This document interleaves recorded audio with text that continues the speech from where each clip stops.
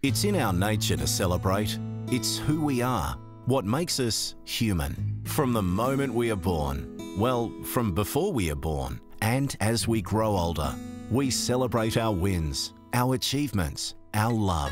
It's human nature. We know nothing lasts forever, but memories live on. After a lifetime of celebrations, celebrate your loved one's lifetime with Andrew and Rachel Dean's Lethborg Funerals.